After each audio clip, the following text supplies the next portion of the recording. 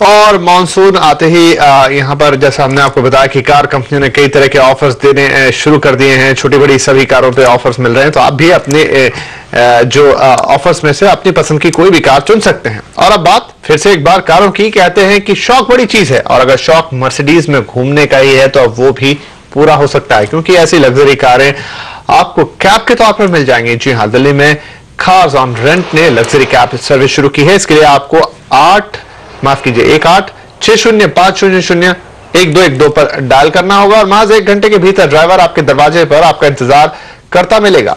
इस limo service में आपको जीपीआरएस और वाईफाई कनेक्शन भी मिलेंगे। आपके पास कैश नहीं है तो भी कोई बात नहीं, इस कार में आप क्रेडिट कार्ड के ज़रिए पेमेंट कर सकते हैं। लग्जरी कारों की इस सर्विस के लिए आपको पैंतीस रुपए प्रति किलोमीटर से लेकर पैंसठ रुपए प्रति किलोमीटर तक की कीमत चुकानी होगी।